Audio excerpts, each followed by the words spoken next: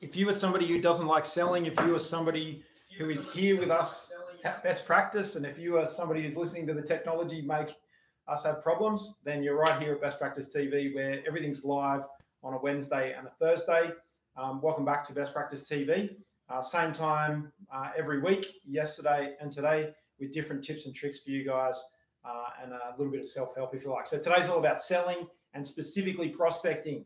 If you're not on our email list, go to bestpractice.biz, scroll down, and get your name and email on the email list so you get the notifications each week on the topics that we're talking about.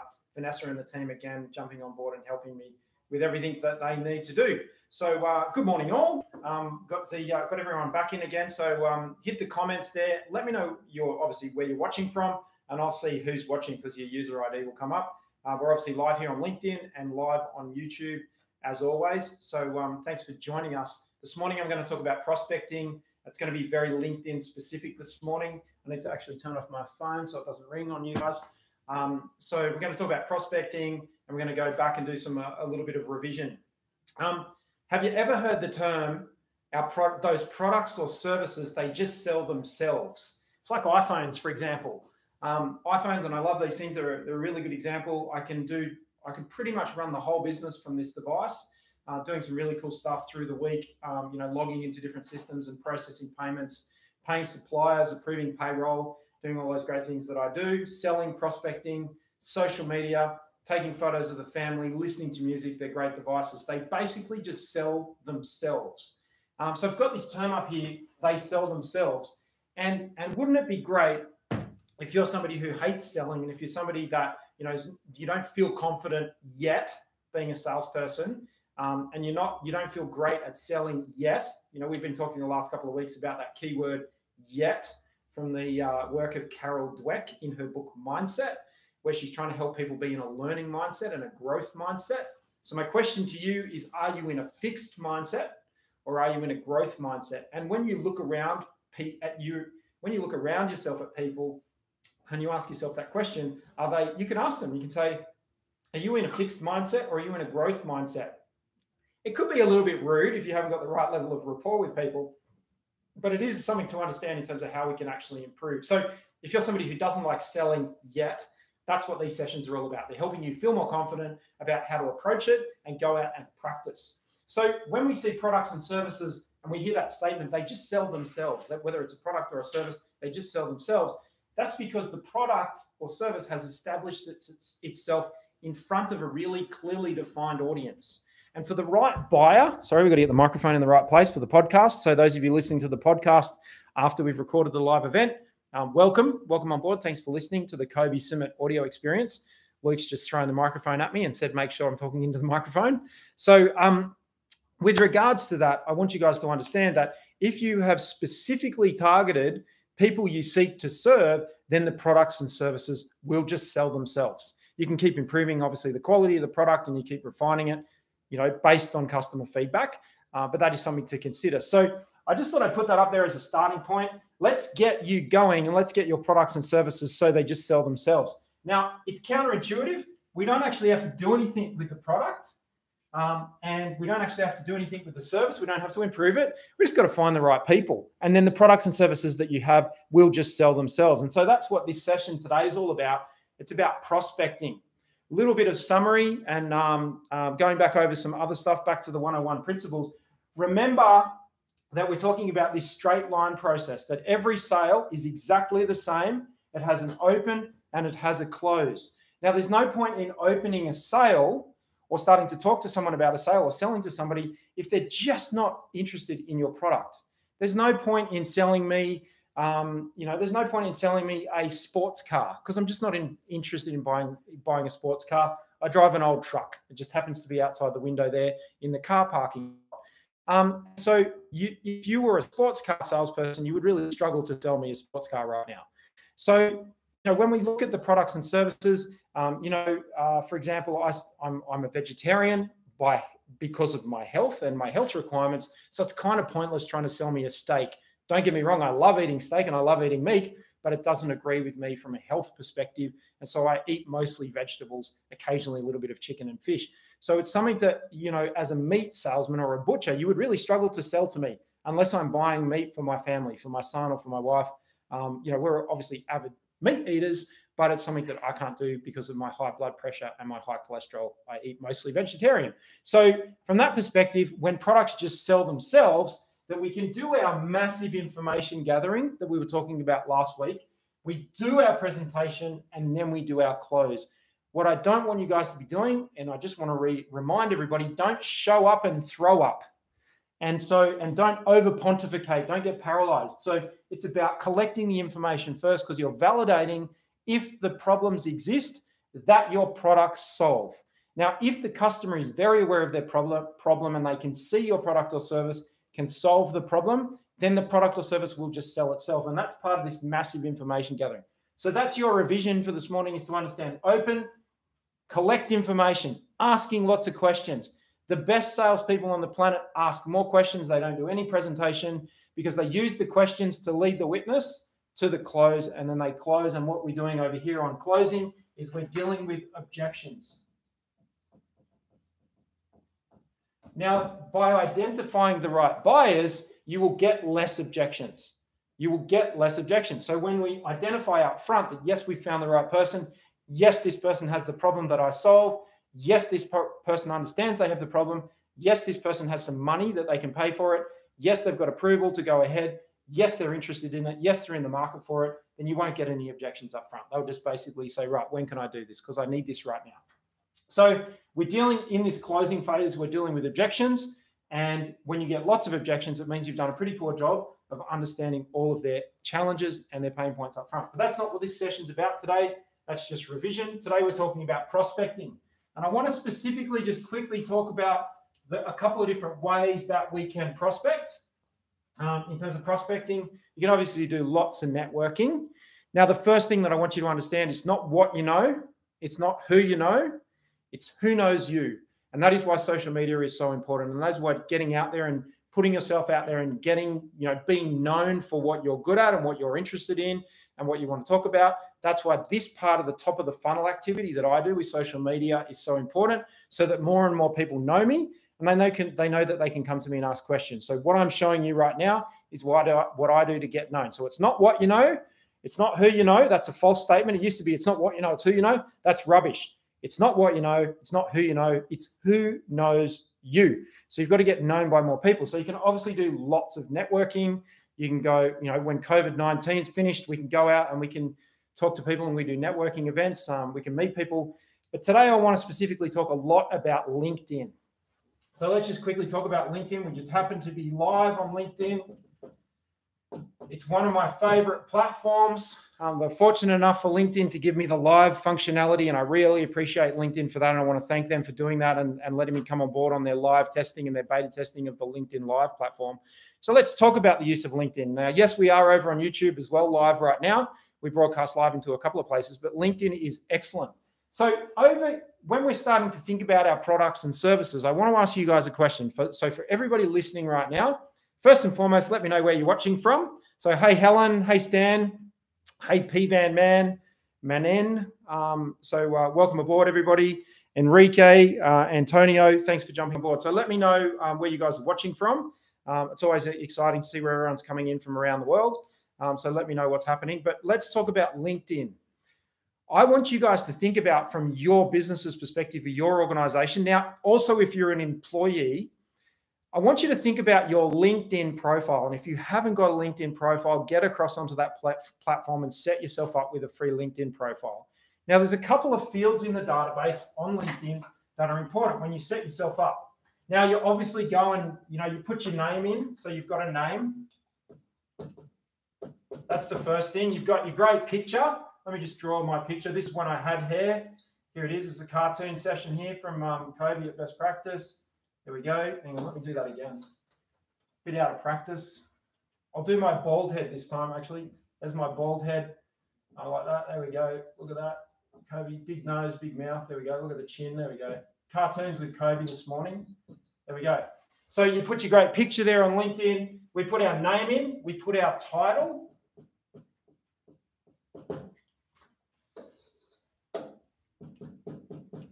How do you spell title? T I T L E. There we go. Can't spell. Thank you, Luke, for your assistance. Your name, your title, your company, your skills, your positions, and your history. Um, and that's going to track time because you put in dates. So what LinkedIn finds out from putting in your positions is how much experience you've got. Now you can actually run filters against this by your based on your title, they can guess seniority. So I want you to look at your LinkedIn profile and I want you to understand that this is a database and you can search this database and that search functionality in LinkedIn is absolutely magical. And I use it to, I use it a lot to find out who I want to talk to, where are they, what are they doing. You can search against any of these things. You can search against name, but when you're prospecting, that's kind of irrelevant. What you want to start thinking about is I want to ask you guys a question. This is the time to take notes.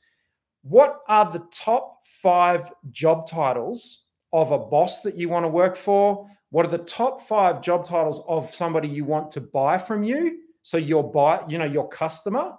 What are the top five job titles? So mine are general managers, CEOs, business leaders, uh, owners, founders. Those are the types of position descriptions that I search for offering the services of best practice and reaching out to people and connecting with people. So I want you to think about if it's a design engineer or if it's a, a building manager or a property manager or a risk manager or if it's a um, you know or a or a commercial manager. Start thinking about the job type, the top four or five or six job titles of the people that you sell to or that your organization sells to. And that's going to give you some numbers in terms of who's out there. So if you wanted, you know, if you've got two screens running right now, open up LinkedIn and start fiddling around and doing some searches. Now, I know that for some of the job titles that I specifically target, there's 34,000, 50,000, 100,000, 200,000. And you can now start to look at region because LinkedIn asks you for your location.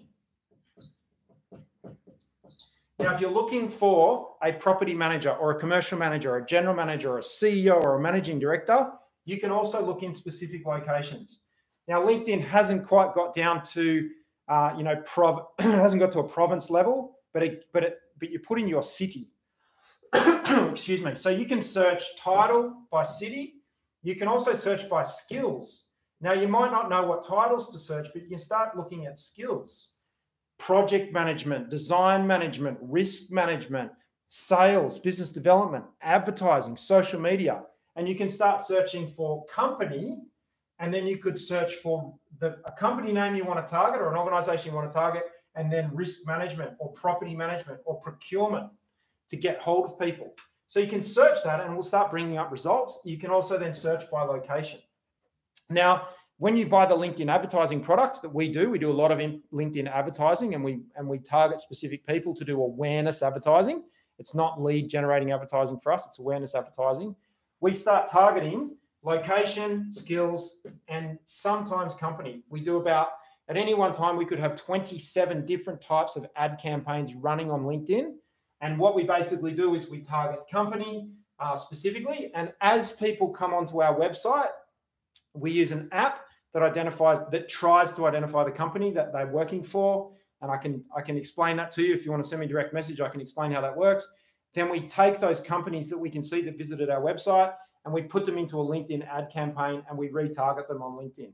So they might have come to our website but then they will start seeing ads out on uh, on, on other advertising pages. So we'll retarget them using google advertising um, or and or uh, in linkedin. But specifically in linkedin we add the company name to a campaign. We add the skills to a campaign, and we also add the location to a campaign. Sometimes we add title. So I just want you to understand from a prospecting perspective that you can start to target people and then to socially uh, socially network, if you like. You can start liking their posts because everybody likes it when they get lots of likes on their posts. So don't feel like you're stalking somebody when you go on specifically, there's someone specifically that you want to target and talk to, there's nothing wrong with going and searching their LinkedIn profile, having a look at their posts, and then starting to read their posts and hitting that like button because everybody likes to get likes and everybody likes to get comments. And nice comments saying that's an excellent post or that was very informative, they will start to see that you're liking their posts and that you're a follower of theirs. And then you can reach out to people and you say, hey, I really like the content that you're posting. Um, you know, what's your view on op- having an opening question? And it's still back to that same sales thing. It's not buy my stuff. It's not buy my shit. And I apologize, I got asked to stop cussing on on my videos this week by one of our followers. Um, but it's not it's not buy my stuff. It's not like you know dating where you say, hey, you know, let's go on a date, let's have sex before we have dinner. When you you know, it's it's about building a relationship.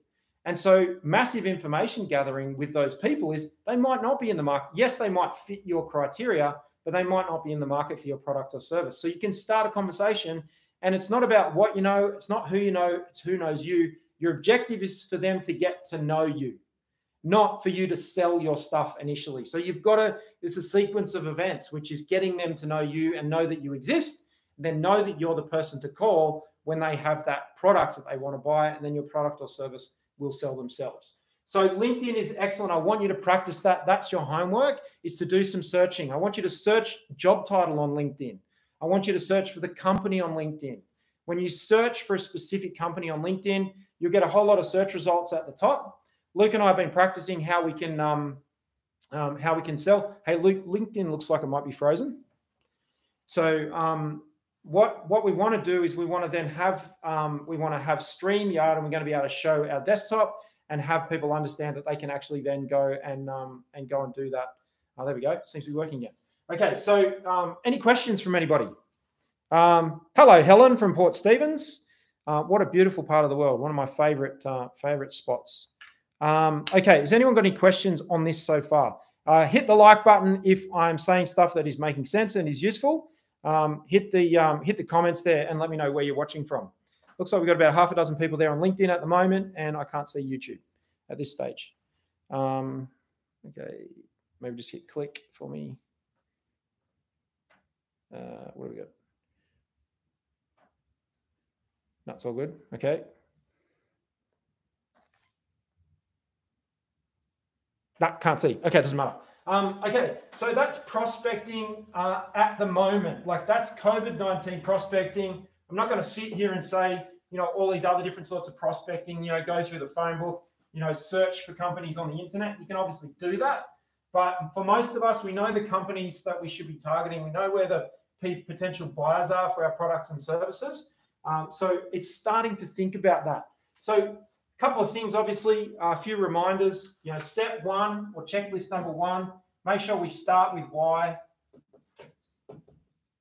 You know, I started this presentation this morning with if, if, you're somebody who doesn't like selling, if you're somebody who, you know, doesn't want to get involved in this, you're not good at this yet. You know, we're very passionate here at Best Practice about helping organizations to grow and improve and develop, work your way up that hierarchy of needs, help you improve your sales, help you improve your revenue, help you improve your profitability, help you get organized, manage safety, deal with your environmental sustainability, have good risk management. That's the stuff we're passionate about. That's me starting with why. So I want you to start with why. Start with telling people when you're talking to them and you're prospecting, this is what I'm passionate about. Get known in your social media for what you're passionate about. Stay in your swimming lane. I'm passionate about helping, you know, Stan. I'm passionate about public safety and helping people have an amazing experience in swimming pools and the outdoor industry and at beaches. You know, stay, you know, that's really important to be known for that and being known for that person who's the advisor and the giver of information around that stuff. So we want to start with why. We want to start thinking about the problem right now in COVID 19 that we're very good at solving. What's that focus point for the problem? What's the problem that we solve? Who are the most likely people to have that problem? Who are the most likely people to have that problem? That's what we're using LinkedIn for to go searching for those people. Then we can start searching LinkedIn.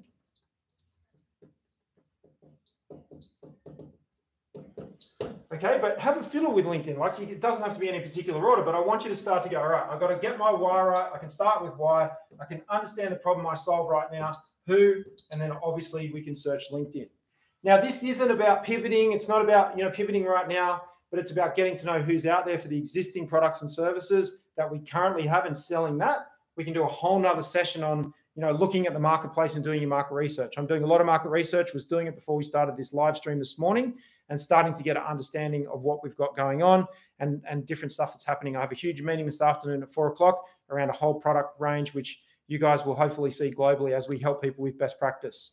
Um, so um, that's what I want you guys to understand. So that's it for today. Um, quick one. Quick game's a good game. Um, I've talked about LinkedIn. If you've got any questions or you need help with LinkedIn, uh, specifically, if you want to know how to do the searches, uh, I can show you the advertising platform. Uh, we don't sell any of those services. We just use them ourselves, and I'm here to help you guys. So that's something that you can consider. So if you want to know more about how you can use and leverage LinkedIn, let me know.